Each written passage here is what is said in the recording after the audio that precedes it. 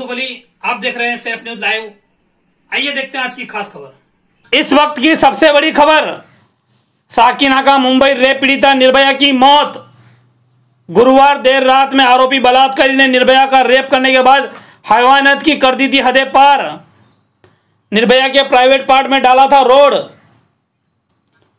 माया नगरी के नाम से मशहूर मुंबई के अंधेरी साकिनाका इलाके में गुरुवार और शुक्रवार की मध्य रात्रि में हैवानियत की शिकार हुई पीड़िता की। शनिवार को इलाज के दौरान मौत हो गई। तीस साल की रेप पीड़िता का इलाज घाटकोपर के राजावाड़ी अस्पताल में चल रहा था।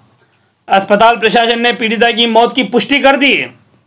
यह वारदात मुंबई के साकिनाका इलाके में 10 सितंबर की जल्दी सुबह तीन बजकर दस मिनट पर घटित हुई थी, जहाँ खैरानी रोड पर एक तीस वर्षीय महिला के साथ पहले बलात्कार किया गया और फिर रेप के बाद आरोपी ने पीड़ित महिला के प्राइवेट पार्ट में रोड डाल दी और निर्मम तरीके से मारपीट की गई। पंद्रह मिनट बाद वहाँ से गुजरने वाले किसी शख्स ने महिला को खून से लथपथ बेहोशी की स्थिति में देखा तो उस शख्स ने मुंबई पुलिस कंट्रोल रूम में फ़ोन किया।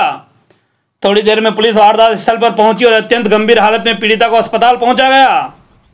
अस्पताल पहुँचाए जाने के समय से पीड़ित महिला की स्थिति काफ़ी गंभीर बनी हुई थी। पीड़िता को वेंटिलेटर पर रखा गया था।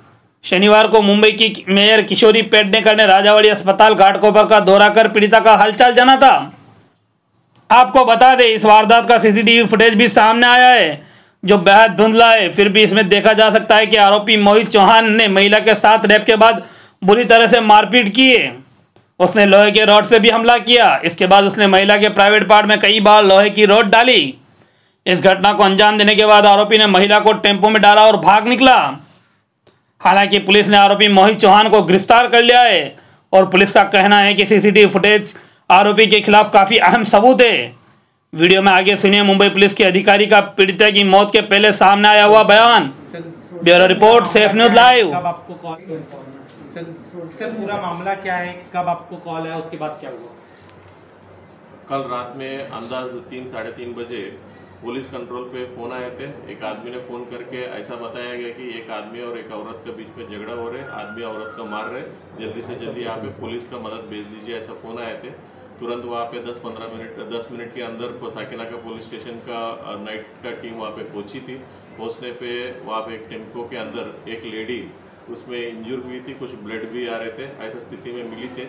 मिलने के बाद हम तुरंत राजवाड़ी हॉस्पिटल में तो पुलिस ने लेके गए। राजवाड़ी हॉस्पिटल उसका एडमिट करके उसका ट्रीटमेंट शुरू किए थे। और राजवाड़ी हॉस्पिटल में डॉक्टर्स ने उसका ओपिनियन दिए थे। Lacerated wound involving vagina perineum anus ऐसा ओपिनियन दिए थे।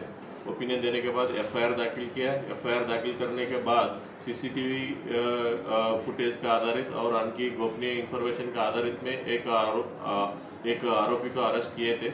आरोपी का नाम है मोहन चौहान उम्र 45 इयर्स है और उसका आगे का इन्वेस्टिगेशन चालू है। विक्टिम क्रिटिकल सर विक्टिम की अगर मेडिकल कंडीशन में विक्टिम के ऊपर ऑपरेशन हुई थी और क्रिटिकल है कंडीशन ठीक। हमारे चैनल सेफ़ न्यूज़ लाइव पे अपने व्यापार एवं सेवा से संबंधित विज्ञापन हेतु mobile number seven three eight five nine five two seven eight six अथवा seven seven three eight two six seven seven eight six पर संपर्क करें।